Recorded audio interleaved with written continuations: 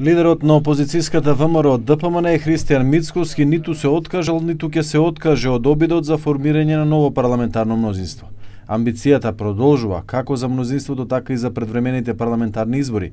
Дури во Клик Плюс рече дека е во комуникација со пратеници од мнозинството. Нормално е кога сум со барем 80 на пратеника во парламентот, плюс нашите кои што се таму. Има и од СДСМ, и од ДУИ, има и од други политички партии што се во коалиција со СДСМ. Но партнерите во владата на Заев негираат. Мнозинството е стабилно и тоа се покажа со гласањето доверба на владата, вели координаторот на пратеничката група на ДУИ, Арбара Дем.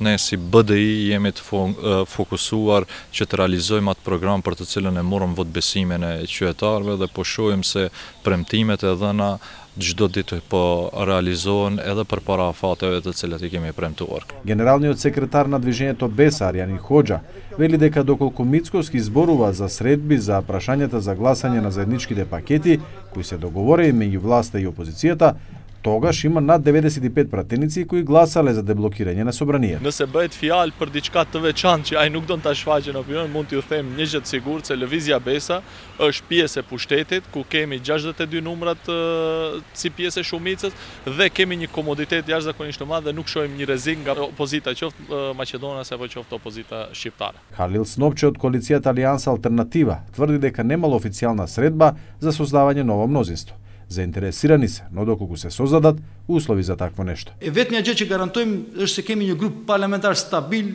unik dhe dhe se i mbrojmë intereset shqiptarëve me krenari dhe do vazhdojmë të mbrojmë intereset shqiptarëve me krenari deri në fund. Normalisht, nëse krijojmë kushte për të kriju një shumicë парламентаре, parlamentare, да do të bisedojmë dhe sigurisht do të jemi të interesuar, por momentalisht e ushtrojmë këtë korektorin e qeverisë në.